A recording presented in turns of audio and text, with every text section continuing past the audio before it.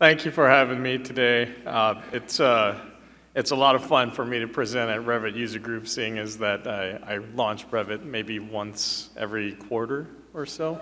Uh, but as Brian mentioned, I'm the civil uh, manager at Ideate. I also do the instruction here in the Pacific Northwest, stationed out of our Seattle office. Uh, and part of my background has been working with LiDAR data and laser scan information for uh, quite a number of years back in, uh, I think it was 2008 or 2009. Uh, LiDAR was sort of picking up where data became more readily available. So at, at that point, I started looking into it. And slowly by slowly and year after year, technology's been improving and, and everything's getting faster, uh, getting much easier to manage. So we're at the point now where you can actually create models from digital photographs. So it's a digital photogrammetry process that is available through uh, Recap Photo. So Autodesk Recap Photo is the primary application that you'd be accessing to get from your pictures to a 3D object. And then from there, the idea behind the presentation was to see what we could get out of that. Um, so everybody nowadays has a digital camera with access to their cell phones and things. So if, if you can start with that, you know, what, what can you get out of it? And that was the idea behind why I tried to work out this uh, workflow. And hopefully we can, we can get some interest behind this and uh, you all can go out and start trying it out for yourselves. Uh, I've broken it down into four different parts for the presentation. It's going to be starting with data collection. Uh, I have a bunch of pictures that I took. It wasn't with my, my camera phone or anything. It was uh, an actual DSLR camera. Uh, and I'll, I'll show you the pictures. I'll try and point some things out and in terms of what pictures might be good or bad, uh, some of the issues that you're going to run into. Uh, I'll take it into recap photo. And then after that, we will look at recap Photo, which is now a desktop application. So all of this was developed out uh, at the beginning of the year. And fortunately for me, on December 1st, Autodesk made a change to all of how Recap and Remake works. Uh, so as of December 1st, Remake, which was the program I used to use, no longer exists. And it is now Recap Photo that you have access to through uh, Recap Pro. So if you have an AEC collection, if that's uh, what your subscription is under, you automatically have access to every application that I'm using here. And that was also one of the goals, was to use uh, products that were already in the collection that you might have. So you don't have to buy anything new, uh, and it's, it's all equipment and things that you can, you can get to on your own. Uh, it, it is a, a multi-step process, primarily because of the file formats. So one of the biggest things and biggest issues is file formatting cross-product compatibility. So there are uh, three different steps that you're going to go from to take a JPEG into a, an RCM file. It's technically the, the file format for recap photo. That's going to turn into an FBX file. FBX files are 3D models that can go into AutoCAD. And unfortunately, FBX files are not directly compatible with Revit at the moment, but AutoCAD drawings are. So if you can get the FBX into AutoCAD and turn that into a 3D object inside of a DWG file, then your DWG file can go into Revit. And in the end, uh, you can add it as a part to a Revit family. It'll show up as an item in your model, works with scheduling and everything. So it, it's a way to go from pictures to something that'll show up on a schedule in Revit if you really needed to. Uh, I'll, I'll, try and do all of this live, but as everybody knows, live presentations aren't always the smoothest in some cases, especially when you're working with large data sets and going across multiple programs and things. So I do have uh, every stage saved at a, at a, certain point if I need to, but I'll, I'll try and do this as, as, live as possible for the presentation. And uh, just to go over again, the, the, products that I'm going to be using are uh, three different pieces from the collection. Uh, the first is going to be Recap Photo. So Recap Photo is now available through your Recap Pro subscription. Uh, it is a download, so you're going to download and install it. shows up as an icon on the desktop, and it looks exactly like how a remake used to look. So it is essentially just a renamed version of that, but it is now included as part of the Pro subscription. After that, it's just plain AutoCAD, standard AutoCAD, uh, not any AutoCAD architecture or anything like that. And then Revit um, is the end result, where we're going to have either a family or you can even do it just as a link file if you want. And there are certain scenarios where families might be good or link files might be better, and I, have got a couple of examples for you there as well. So recap photo to AutoCAD to Revit. That's our cross-product workflow for this one. So part one, uh, part one is data collection and processing. It all starts with collecting your data. And in this case, it's gonna be digital photographs. And when we talk about digital photographs, the quality of your photographs are much more critical than the quantity of photographs that you take. With, with the recap photo uh, processing, you have a minimum of 20 pictures that you need to post. So you can post 20 pictures at the minimum, 250 pictures at the maximum. I've, I've seen excellent models come out of 20 to 30 pictures, and I've seen horrible models come out of 250 pictures. So it, really is quality over quantity. Uh, in regards to data collection with the pictures, you want to try and get as many different angles of your subject as possible. Uh, and just for the sake of the presentation, I'm using a fire hydrant for my example. Uh, not necessarily the most relevant thing to Revit, I know, but it was right outside of my house and it was really easy to take pictures of because it doesn't move. So stationary objects are, are always nice. Uh, I have seen people take pictures of themselves, so you could actually make a model of yourself and put it in a Revit if you want to. Uh, we had a, an Autodesk guy come in and he took a picture of his face and he stuck it on one of the, the people so that anytime he makes a model, he, he can zoom into himself inside of his model. And, and it, it's just one of those things where you can apply it to so many different scenarios. Uh, so you, you really want to try and get as many good quality pictures as possible. And these are uh, the pictures that I have. So for the fire hydrant itself, I ended up with about 80 pictures. I think it was 82 or 83 in total. And in a lot of cases, it's just walking around and taking pictures of all different angles and all different heights. Uh, ideally, you want to avoid dark, shadowy areas or very, very white areas because there's not a lot of differentiation in pixels there. When you think about pixel recognition, it has to be able to tell one pixel from the next. If it's a solid color or if you're taking something way too close where there's not context in the background, it's very difficult for stitching to occur correctly. So in this case, I was probably about two or three feet away, uh, and I just went through all different sorts of angles. I, I did actually notice that an overcast condition outside was a lot better than bright conditions. I've, I've done bright pictures before, and you end up with shadows inside of the model I actually have a shadow of me over a curb ramp because I had taken some pictures uh, bright uh, middle of the day. This was an overcast day. It happened to be awesome because there was no shadowing or very, very little shadowing at all. Uh, and I ended up with uh, just about 80 pictures. So if you happen to be driving around Shoreline on this day, you saw me standing on the side of the road taking pictures of a fire hydrant. That, was me. Uh, so anyway, um, you, you get all of your photos, you take as many pictures, uh, especially in smaller detail areas. So for this particular fire hydrant, there was a lot of detail on the connection for the fire hose and also on the, the rivets and the, the screws on the sides. So I tried to get a bunch of different angles around those objects as possible. There was even some warding on the back. So if you look at this, uh, there's some warding on the back that are, it's um, forged letters, I guess, that are just part of the, the cast when they created the fire hydrant. So as much detail as you need, you're going to take all of the pictures that you can. Uh, and again, you want to have a, a little bit of overlap in each picture just so that you can line one up with the next. And of course, try not to get too close because if I zoomed in all the way where it was just yellow, there would be no way to tell what yellow was here with yellow in the next picture. So you want to have some type of background context. Uh, once you've got the pictures, uh, that's where you essentially take it to recap photo. Uh, if you do happen to have a scanner or you know someone that has a scanner, you can actually skip the whole picture taking process and output the point cloud directly. So you can get a point cloud out of a laser scanner and convert that to a mesh if you need to.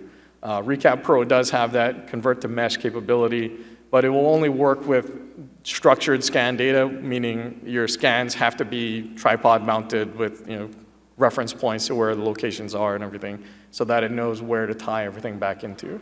But if you can get your hands on some scan data that has some structure behind it uh, or structured information behind it, then you, you would be able to create this mesh as well. And ideally, the mesh is the end result that we're going for because that's what we get uh, the FBX out of.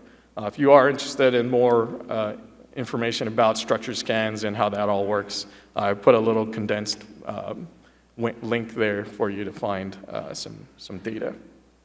So once we get the pictures, what do we do next? This, this is where we get into our first Autodesk application, and that's going to be what's now called Recap Photo. So within Recap Photo itself, uh, this is the new interface that will appear. So it is a separate icon that gets installed. Uh, if you've got Recap Pro, when you launch that and look for a photo option, it's going to take you to a download where it'll install the, the executable file. Uh, now, directly in this interface, you have an option to create 3D models from either objects or aerials.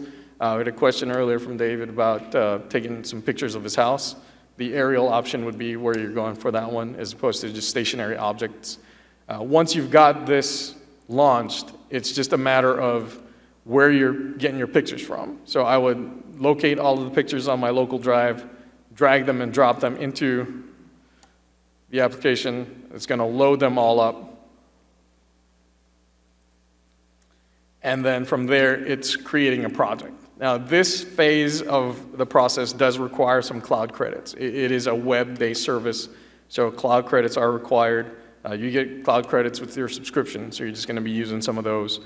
For this particular fire hydrant, if you take a look at that corner right there, it says 12 cloud credits are the estimated cost. Uh, so it would charge my account 12 cloud credits to produce this. And then once it's done, uh, I'm not going to do this because I've already done it, so I'm going to cancel this out. Once it's done, you're going to get an email. Uh, it'll show up in your cloud drive as uploading the photos and processing. And then once that whole process is complete, you will receive an email back from Recap Photo. It's going to say your fire hydrant is ready or whatever you call the name of the project. You'll be able to view it inside of Recap. So it'll show up down here at the bottom. This was the project as it was completed. And then you would download that item and open it up inside of the desktop application. And it is an RCM format. So we're taking it to RCM at this point.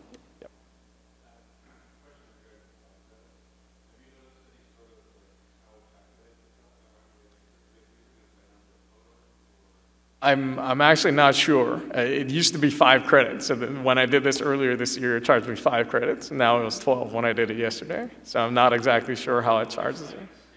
Yeah, yeah.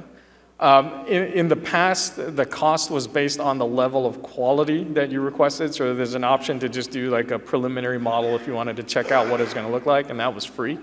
But if you wanted a model that you could then download in different for, uh, file formats, that was a charge for the cloud credits.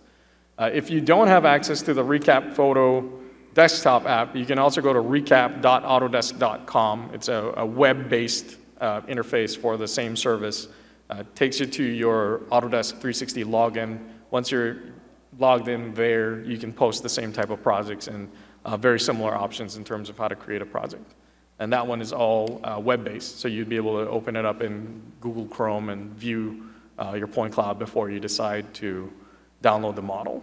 Uh, you can also supplement a lot of these. So if you post something and then you get a model back that seems to be missing some areas or some areas aren't quite as accurate as you would hope, um, you're allowed to repost more photographs. A lot of times, if your photographs have some issues in terms of shading or something like that, they might get disregarded from the stitching. Uh, so you could replace those with better photos and resubmit the project and then uh, go from there. I, I, was told as long as the project name doesn't change, it, it's not going to charge you again for reposting the same thing. But if you're resubmitting it as an entirely new thing, then you may get charged credits again. So just kind of be aware of that. Always read, read the little notifications that pop up. I, I tend to just blast through them and click OK whenever I see something. So it, it could be charging me more credits than I think sometimes. But uh, for the most part, you're, you're going to be able to get an RCM file. Uh, RCMs are primarily the file format that I chose because of this application. So when I take it into uh, Recap Photo, which used to be Remake, I now have uh, the ability to modify, review, and edit the model. So this is the end result of all of those photographs. Uh, I was able to get this into remake, and you can see that it does pick up all of the color. Uh, you can see all of the detail. If I zoom in far enough, you can see even the, the texture of the cast iron for the fire hydrant. You can read every word and see every letter. And it's got the, a little bit of the cabling. So there was a, a metal cable that's connecting the cap there to the fire hydrant itself. And this is essentially what you're going to end up with. But this is not necessarily what we want to create a family part out of or um, bring into Revit. So we need to do some cleanup. And this application does exactly that. So in the process of reviewing data, I'm also going to be now selecting data and cropping some of the areas out. And you have to be a little careful with this in terms of how you're going to do it because it's all line of sight editing. So even if I am only trying to select this, if I hit part of the fire hydrant in the process, because it's a 3D model, I may be deleting part of the hydrant. So you, you kind of have to get used to panning and zooming your way around, and then it's just a matter of selecting and, and uh, deleting areas. And I'm using the delete key. Um, you also have a little gizmo that tends to pop up if you're doing editing that would allow you to. So that's a right click, and then you can get to delete the selected areas. So um, it does take a little while to clean it up, and you can see there I, I hit a little bit of the fire hydrant, so that now I'd have to kind of go back and undo a couple of steps or, or clean that up more. Um, if you can get to a good side view perspective, there's a really good way to just crop out everything below. So if I have this thing mounted up, and that, that's actually something that I've been noticing recently. Um, if you're thinking about doing like an interior feature or some type of furniture in, instead of an outdoor item, uh, if you can kind of prop it up on top of something, then it's easier to clean out what's underneath it. Uh, this fire hydrant happened to have a riser underneath the bottom, so it was easy for me to just say, at that level, I'm pretty much just chopping everything off underneath and that's uh, made, uh, made the, the editing quite a bit easier to do. So now I've got you know, a lot cleaner of a model, and this is what I would want to get my part from. So now I've got a fire hydrant, I've removed a lot of the data, uh, just kind of disregard that. I've already saved this out, so this is kind of the, the 50,000 level view of what you would need to do. Uh, I would also want to make sure I clear out any type of uh, items that aren't really connected to the object. So this is where it gets a little bit more fine tuning. So you have to clean it up quite a bit. If you end up cutting off a piece, or in this case, you can see that it's entirely hollow. Uh, it doesn't have any idea what's inside of this thing or how thick it is. So you are really trying to get uh, a shell of the object. Now, once you get to this point, if you need to do some cleanup, if you notice that your, your model has some holes and things in it, you've got editing tools that allow you to fill holes.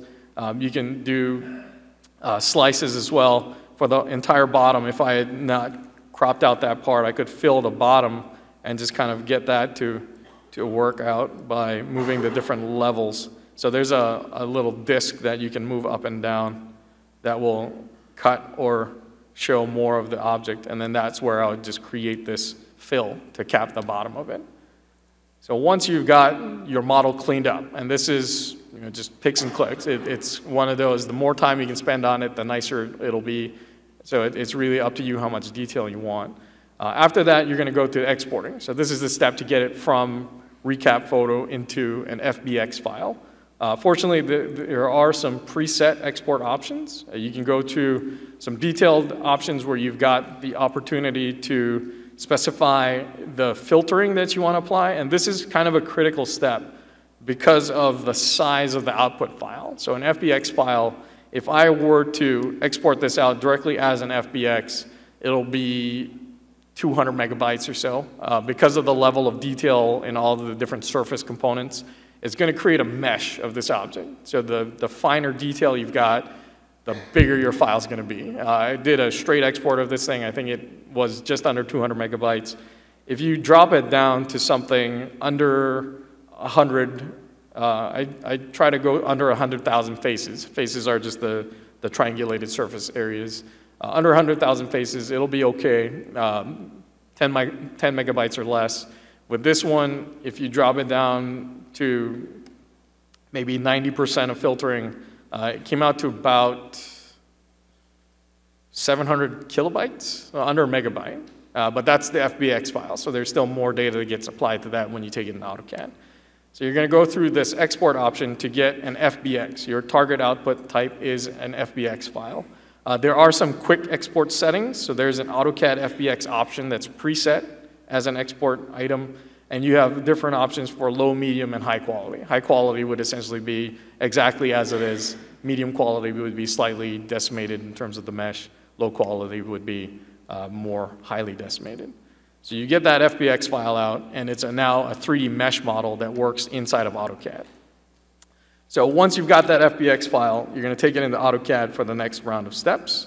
And that's where you would then, uh, we've already done the cleanup and the decimate, export to FBX file. That's going to be through these settings. Sorry, I skipped a bunch of slides here. Uh, importing the FBX, creating the 3D mesh. So there's a step between FBX to get it to DWG, where essentially you're just importing it as a block into AutoCAD. And then once it's a block in AutoCAD, you're going to ex uh, explode that to get your mesh object that works with your Revit family. So we're importing the FBX as a block, converting it to a 3D mesh.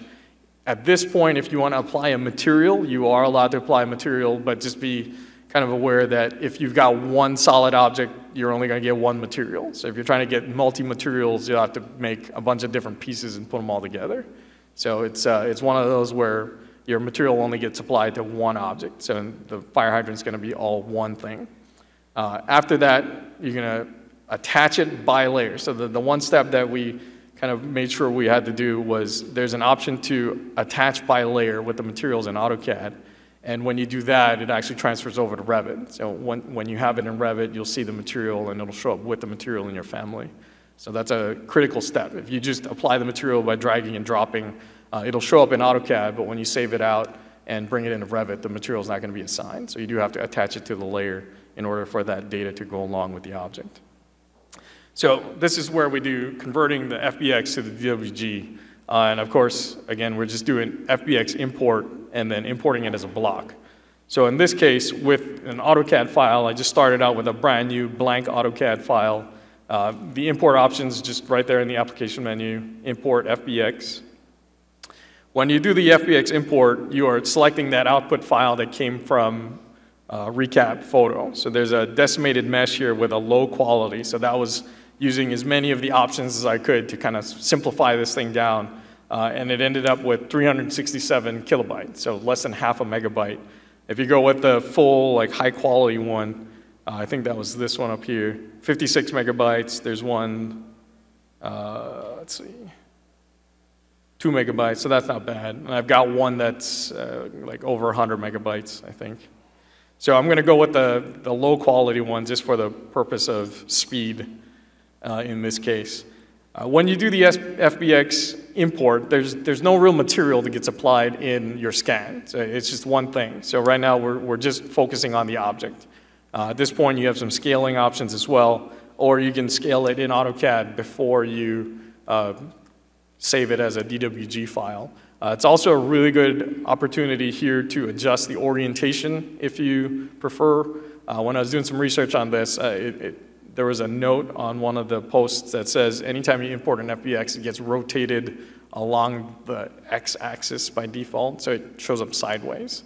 Uh, and this happened with one of the other sample files we're working on as well. We had an elevator shaft uh, that when we imported it out, it, it, turned out to be a tunnel sideways. So we had to adjust the, uh, the UCS in AutoCAD. And that's all you really need to do. You're just resetting the UCS, so you're rotating it to view, UCS view for anybody that doesn't know uh, too much about AutoCAD commands. And that resets the XYZ axis. Once you've got that in there, just save it and you're ready. So that import option was just as is. Uh, import FBX, choose the object, and then from there you got the insert command. Once you use the insert command, you've got a 3D mesh of your model. Uh, I make sure to use the explode option to convert it from a block to that mesh in AutoCAD. And then you now have a 3D fire hydrant. So this is a fire hydrant that's now created from those photos, decimated down to about three, 300 kilobytes or so, and it's now inside of AutoCAD. Uh, if you've got it and the materials browser open, you can apply some materials. Let's see if I can find something. You can make a gold fire hydrant if you want to. There's some gold in here, diamond plated. So you're really just kind of dragging and dropping it on there. And once it's applied, uh, when you go into a different type of uh, view selection, then you'll be able to see the actual materials. So this is the different materials been applied to your fire hydrant, and this would now only appear in AutoCAD. So if you want that same material information to show up inside of um, inside of Revit, then you're going to have to go to your material mapping and actually attach that. So uh, there's an option inside of here where we are now going with material, if I can find it, remember where it was.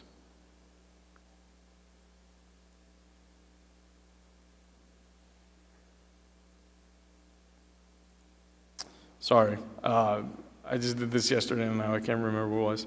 There, there is an actual just map materials and it's called assign it to layers. And it's going to be uh, where you are essentially sticking the material information onto the layer that's associated with the object. Uh, if I can remember where that is, I'll, I'll take a screenshot of it. But um, it, it's uh, supposedly, or supposed to be in the ribbon. So imagine that I did that there. Right click or click on the ribbon icon. You're going to do attach the layer. And I have a screenshot of it in the PowerPoint actually, so just in case. Oh, maybe not. Um, you're going to do that attach and then save it as a DWG. So once you're inside of AutoCAD, you now have a 3D mesh object that's got a material applied to it, and you're going to do save as plain AutoCAD drawing, because that's the intent for where we're going to go next, where we've got an AutoCAD DWG file that we want to take into uh, Revit family. So the AutoCAD DWG file, in this case, with the sample set that I created, came out to be about two megabytes. So that filtered out and saved down decimated mesh, imported into AutoCAD, converted into a mesh object, assigned to a material, would then be, um, in one case, seven megabytes, and then in another case, two megabytes. So depending on the level of detail that you go with, uh, your file size is, is relatively manageable. Uh, here's the high detail. So everything that came out of recap photo in terms of the fire hydrant, not decimated, taken straight into AutoCAD, applied with the material, 171 megabytes. Uh, that's probably not something that you want to import into Revit as part of your, your Revit families. So uh, that's where you kind of want to make sure that you're doing those filtering to get it simplified down. So once you are in uh, the scenario where you've now got your AutoCAD DWG file, then we're going to go into Revit. And inside of Revit, you've got a couple of different options. So with the, with the Revit functionality com uh, compatible with uh, AutoCAD DWG files, you've got the first option of adding it to a family where you're going to open your, your Revit family, import your CAD object, and then you're, you're going to basically save and define it there and then load it into your project. From, from that point on, it'll be an item that you can select and choose. Uh, this option number one, where you're applying it to a family, also works with scheduling. So because it's now part of a defined part in a family, you can get it to show up in a schedule.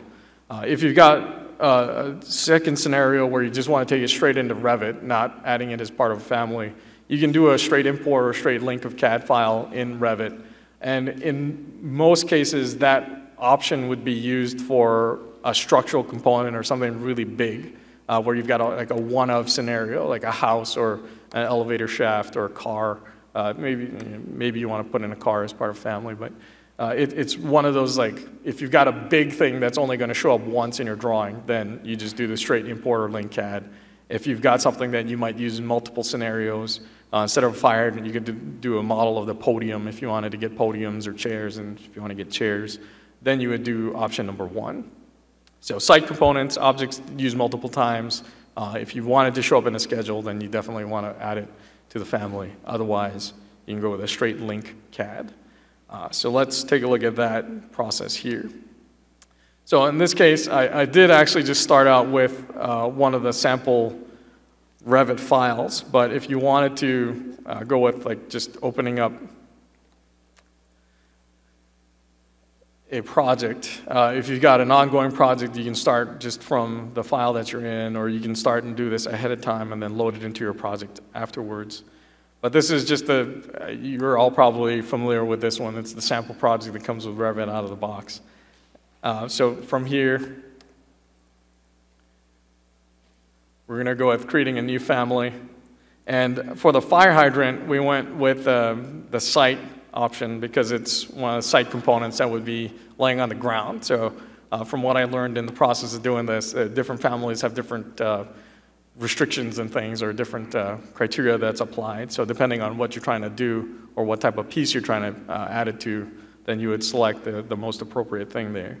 So in this case, from the site family, we're going to go in and insert a CAD file, so we're importing CAD.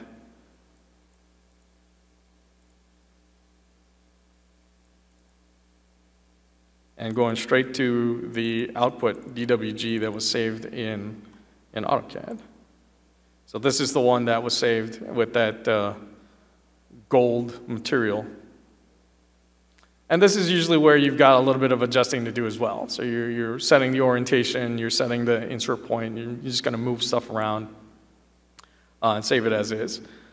And this is where you can scale it as well. So it happened to be pretty well on center. Uh, sometimes they'll come in pinned, so you just make sure you unpin it first. And then from the rotation,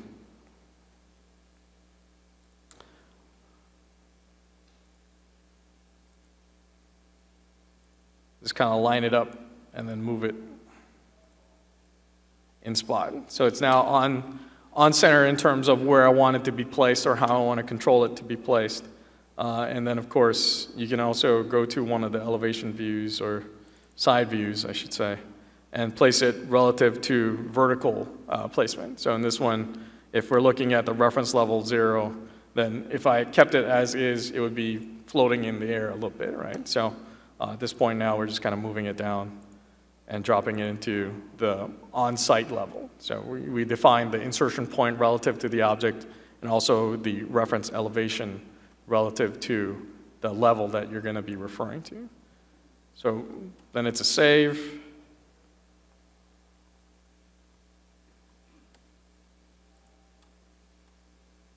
And loading it back into the project.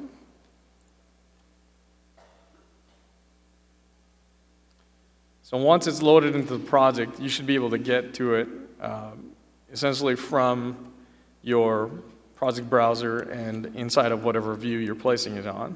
So if I go to like the site view, uh, we would be able to then find that whole um,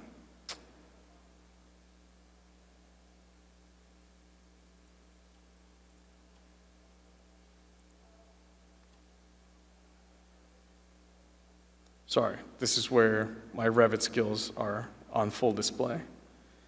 So once you've got the object uh, placed in there, it would show up. Uh, I'm just going to go with the one that I placed in here already. So there's a fire hydrant now that's inside of my Revit model. It shows up as a piece that I can control. Uh, it's part of the family that I defined. It'll show up in a schedule that I create. Uh, when I was researching this, I, I tried to look up as much of the issues that I could in terms of what might happen there were some posts where uh, they were trying to get some stuff in that weren't showing up on sections. So if you go with a straight point cloud, which isn't, uh, it's always an option. You can scan something and take a point cloud directly in the Revit file. You'd be able to visually see the object there, but point clouds are non-solids. They're just a bunch of points that are in the drawing. So they don't really show up in terms of detail on rendering or any type of uh, sections or solids and things. So you can always uh, put in this solid object now, and whenever you go to a section, you would then be able to see the object in a section based on the reference elevation and the point that we selected. It's going to be attached to the right level there. So at this point, you now have a component that's part of your Revit family that you loaded into your project, and you can use as much as you want. And this is applicable to essentially anything you can take pictures of. Uh, it's it's really what you can apply it to in your head. You can probably get it done inside of Revit. So at this uh, stage in this, the, the workflow, it's just a matter of getting all of your pictures done, building all of the parts that you want to build, and then making sure you have enough cloud credits to process everything, I guess, in, in terms of the recap photo. Um, the other project that I had up earlier, or that I had on the, the main page, was the Um,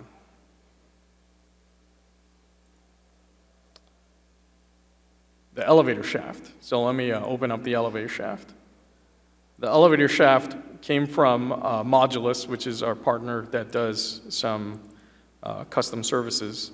And in this particular case, uh, they had received a scan for an elevator shaft that was part of the project they were working on, and they were trying to get it into Revit for uh, model-based content. So they needed something that was a solid that they could actually see and use inside of Revit. So this happened to me yesterday as well.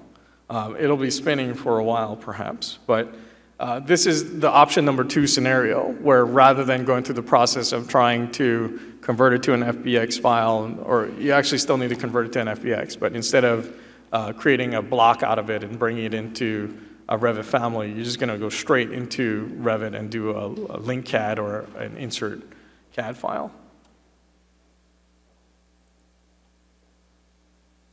And that would essentially then become part of your Revit model.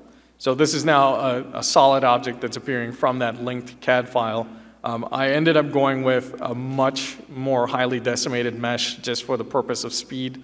Uh, if you leave this one at full detail, then it, it's quite a large file, and it, it, takes a long time to process. So there are uh, some scenarios that I encountered where it's just a matter of waiting it out. Uh, as long as you can keep monitoring it for a while, you'll be able to uh, kind of keep track and make sure it's moving a little bit. But this was a mesh scan that, or a point cloud scan that came out of a scanner and then turned into a drawing. And the drawing, the AutoCAD drawing itself is uh, this one here. So when we look at it in AutoCAD, you can see at full detail, there's quite a bit of, of information that you can get out of it. You can even see the insides. So it was an inside and outside scan. Uh, and there are uh, a lot of detailed components to this. Um, the project that they're working on ended up using this as is, so they have a really, really big uh, file to work with, but it showed them the exact size and they could place it directly inside of the building to work with any type of conflicts or any type of um, clashes that might be encountered when they're doing renovations. So it's a good way to get um, as-built conditions into your model as well if you're not able to get uh, drawings that you could model from or an existing model that you could take. Uh, this particular file is pretty large, so that was uh, the dome elevator, 30 megabytes in, in terms of uh, the AutoCAD file itself. And then when it's taken into Revit, it's, it becomes part of that linked file. Uh, and you can see inside of this one as well, it was decimated, but there's still some content inside of there that you can get to. Uh, and again, the higher detail you've got is just a longer wait in the end. But uh, I would try and make sure you always double check what's going on when you do the decimation. I, I did say that's kind of a critical step in terms of getting a file that's manageable, but you don't want to uh, decimate it to the point where you're losing detail.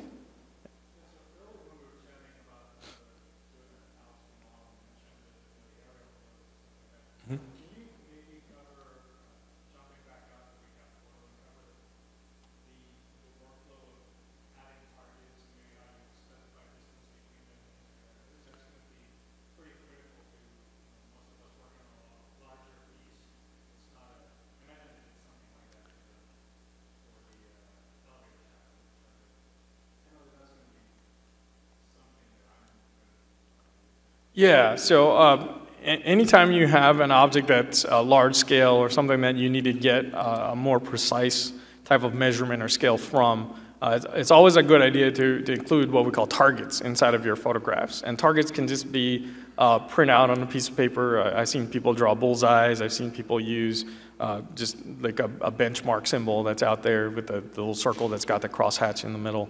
And you're adding this to the data inside of your photo. So it becomes visual reference information uh, that gets added to the model that you can analyze in the end. Uh, so a lot of this process, when you go through just the recap photo uh, interface itself, so if I were to submit a project here, uh, there isn't really anything you need to do. It, it's just going to be an item that would then appear inside of the mesh once it gets downloaded. Uh, that whole process actually is more applicable to uh, the full Recap Pro version. So Recap Photo is just where you convert the pictures to the model. Uh, and that, to get the, uh, the targets and things in there, you're just going to make sure that they're included inside of your pictures. And you may want to you know, number the targets or come up with uh, somewhat of a way to distinguish which ones are which. Uh, I would also recommend placing them at a known distance, so you not only have a visual target for um, reference, but you also have a, a target for scaling. So I, I, can measure between two targets that I've set at you know, 10 feet apart or whatever it is. And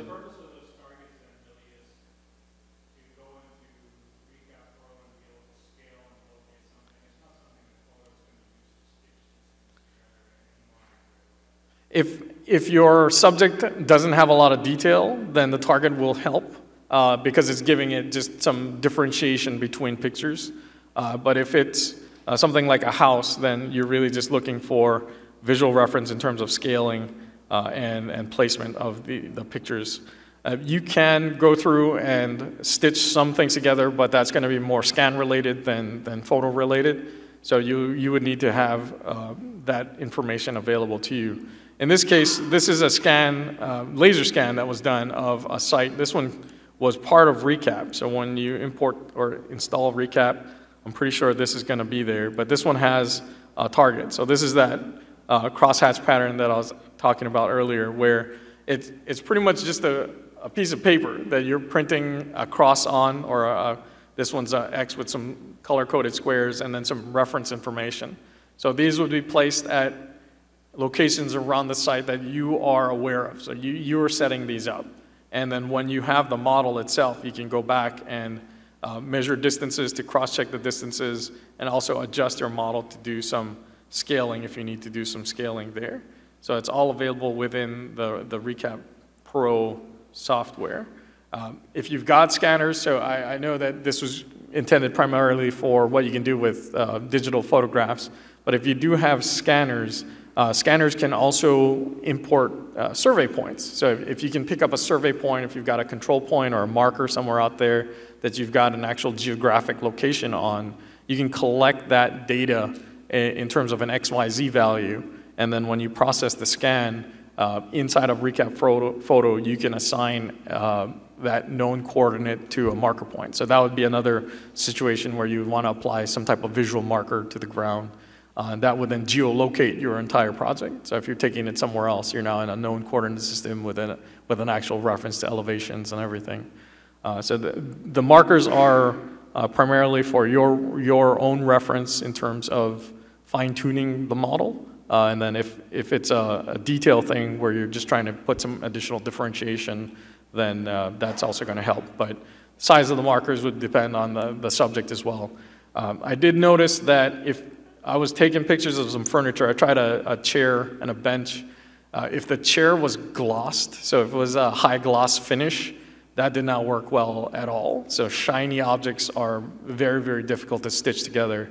Uh, it was a nice wavy bench when it turned out, but it wasn't supposed to necessarily be that well uh, that way. So you're going to run into that type of scenarios also in, in some cases.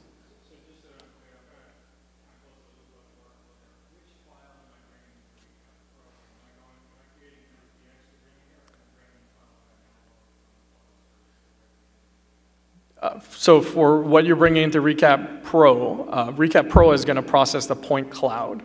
So from ReCap Photo's web service, uh, there is an RCS format file. It's a ReCap scan file, uh, and that's what's going to be in here. If you get to the point where you're looking for a mesh, then that's going to be RCM. So the two kind of primary file formats that work with ReCap are RCS and RCMs.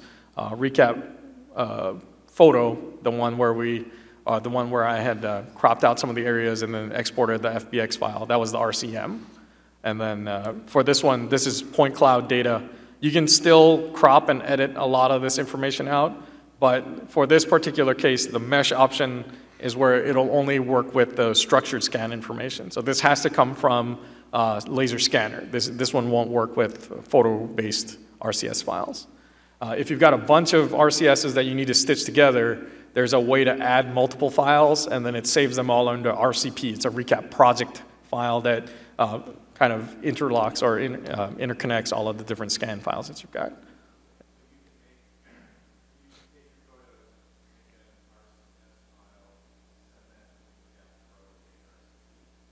Yes, uh, RCP is just like an indexing file, so it doesn't actually save a lot of data, but it'll uh, save if you've got four scans that you need to stick them together. Uh, the,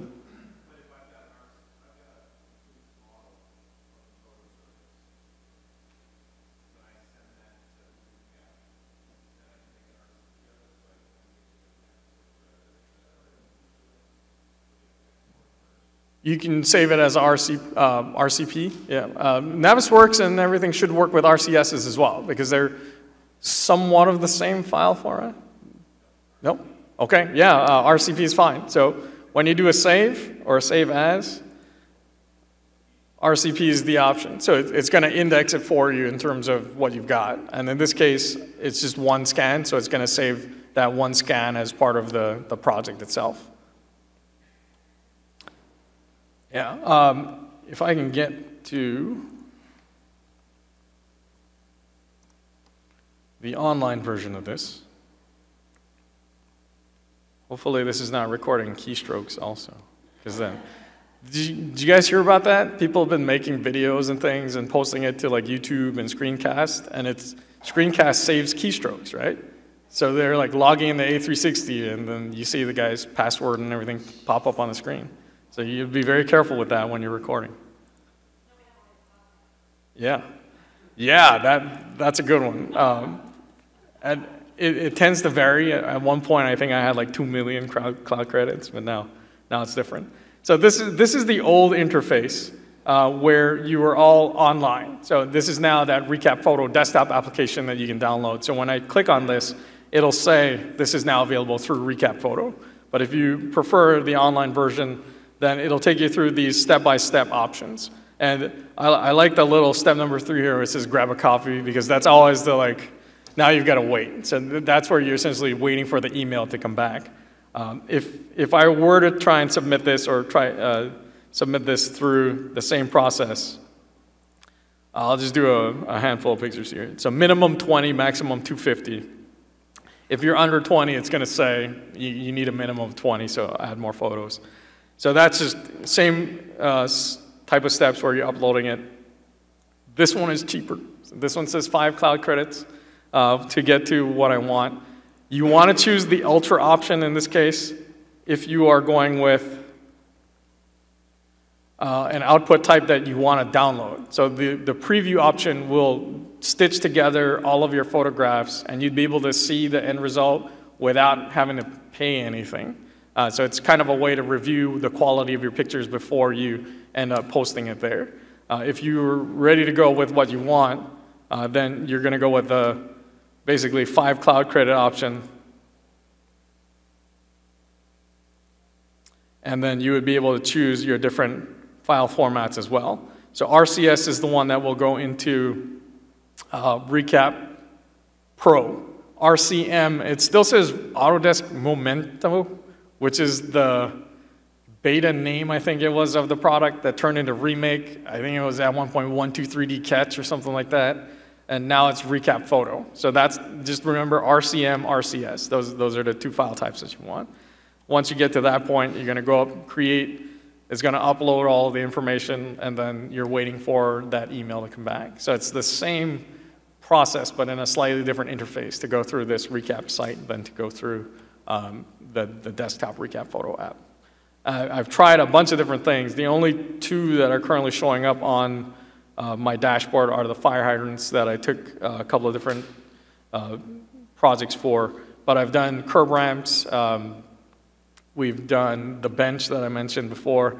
Uh, I've got a model of Brian's head somewhere. He's sitting on his chair in his desk, and it's like spun him around and took some pictures. Uh, with that one, the, the back of his head is empty. So, I'll, I'll, yeah. Uh, so it, it, really does come down to the quality. His hair is also very shiny, if you notice. So that, that part of it didn't quite work out well in the stitching. But yeah, you, I mean, you can take pictures of anything. Uh, the, the only issue that I've ever run to where I've gotten a blank model back is if you're trying to do something that's copyrighted information. So if you're taking pictures of something that is uh, not technically something you should be modeling, then it, will just filter it out from, from the thing. So I tried to do like an action figure, and when I posted the action figure, all I got back was my table. They, they took the whole thing out. So it's something to be aware of as well. If you if you get entirely blank things back, it's because of the data content copyright information in most cases. So um, that being said, it's about 1250, and we're winding down to the end of this thing. So uh, the last step here, again, you're just taking things from file format to file format. So if, you, if you're thinking about the big picture, it's like translating different words from different languages. And you've got a bunch of different people who can speak certain languages, but they don't all speak the same language. So you're going from JPEGs to RCMs to FBXs to DWGs to Revit. And that's all they get from uh, your megapixels in your picture to your model in Revit.